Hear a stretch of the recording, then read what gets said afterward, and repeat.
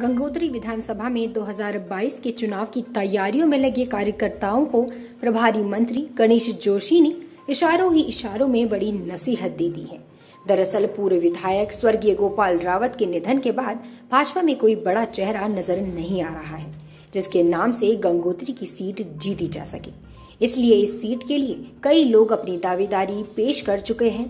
इसके साथ ही चुनाव प्रचार में भी उतर गए हैं। उन लोगों को आज प्रभारी मंत्री गणेश जोशी ने इशारों इशारों में समझा दिया कि फैसला हाईकमान को लेना है, इसलिए पार्टी के हिसाब से चले।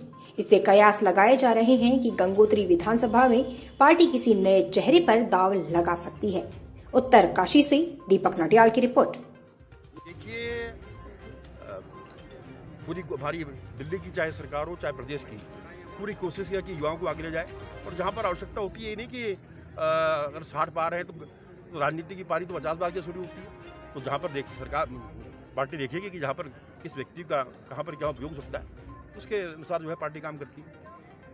जी जैसे गंगोत्री विधानसभा से कई लोगों ने कई लोग बीजेपी से दावेदारी कर रहे हैं तो इस समय वर्तमान स्थिति क्या मान के चल रहे हैं सर देखिए ये काम पार्टी संगठन का है। और पार्टी की हमारी कोर कमेटी है, पार्लियामेंट्री बोर्ड है उसको तय करता है तो बेहतर होगा कि ये बात आप उनसे करें।